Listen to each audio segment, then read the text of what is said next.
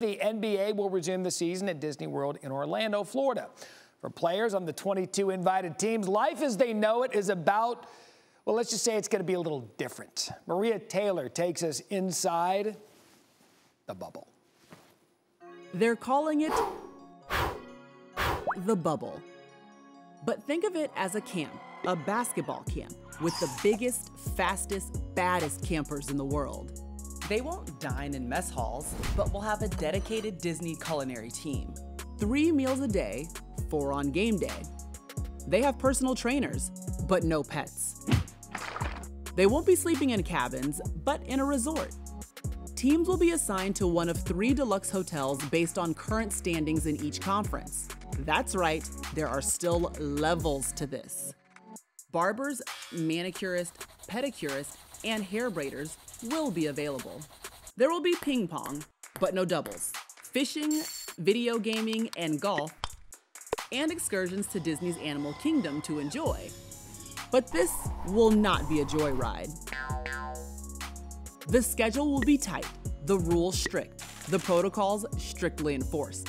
Regular coronavirus testing, mask worn when off the court, no exceptions. Want to leave campus? That's cool, but there's a mandatory quarantine period upon return. Now for the business at hand. Teams will have seven courts to practice on. Want to get up some extra shots? Or an open run? That's by appointment only. Players want to take in the action and scout the competition. Oh, it can be done.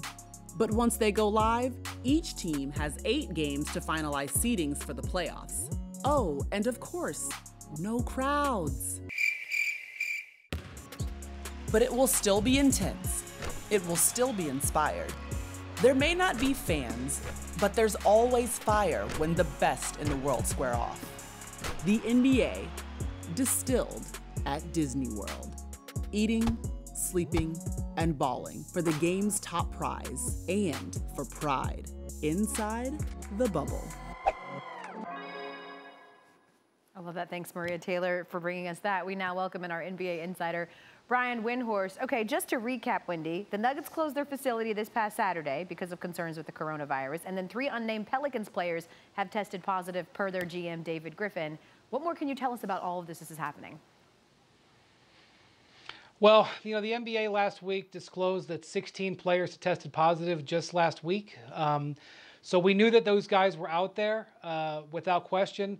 But the fact that guys have started testing positive in the facilities, uh, both players and staff members, is obviously concerning. And I would say that a week ago, as I talked to executives, players, and, and staff members, that there was a concern about this, but they were all pretty you know anxious to go which is why we haven't seen many players and other people pull out so far a week later it's really changing a little bit. Not only the numbers in Florida, but also more positive testing at these, uh, uh, you know, at these uh, facilities. Plus, we've had some positive tests in other bubbles, such as on the PGA Tour. You know, it's another week before the teams start leaving to go to Florida the confidence level in that this, this, next week is going to be fragile. The NBA believes once we get down to Orlando in that bubble that things will be safe and that they will do everything possible and that this will work. But getting to that bubble is proving to be very nervous, nervy. Yeah, and listen, there is 101 pages of protocols, right, to protect them when they're there, but there are also concerns about that Orlando bubble, uh, particularly when it comes to the coaches, right? You've got five of the 22 teams' head coaches that are 60 or older. What are you hearing on this front? See, this is something that the league has not commented on yet. When I checked with them, they said it is an ongoing medical review process.